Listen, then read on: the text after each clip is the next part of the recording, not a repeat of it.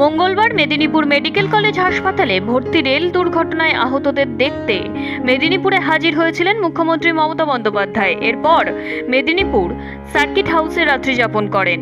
রাত্রে প্রশাসনের আধিকারিকদের সাথে একটি গোপন বৈঠকও করেন। বুধবার দুপুর বারোটা নাগাদ মেদিনীপুর সার্কিট হাউস থেকে বেরিয়ে কলকাতার উদ্দেশ্যে হেলিকপ্টারে করে রওনা দিলেন মুখ্যমন্ত্রী মমতা বন্দ্যোপাধ্যায়। পশ্চিম মেদিনীপুর থেকে শান্তনুপনের report U Bangla TV. U Bangla TV হৃদয় ছুঁয়ে যায়।